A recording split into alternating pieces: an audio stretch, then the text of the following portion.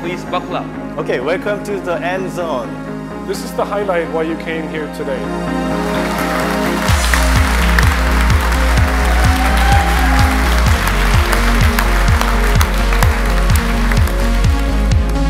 This vehicle represents the next chapter of REN's high-performance future.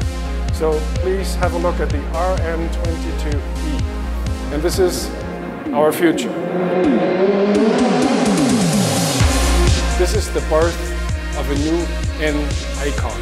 We continue to dream by resuming the high-performance car, the first of its kind under the Hyundai brand.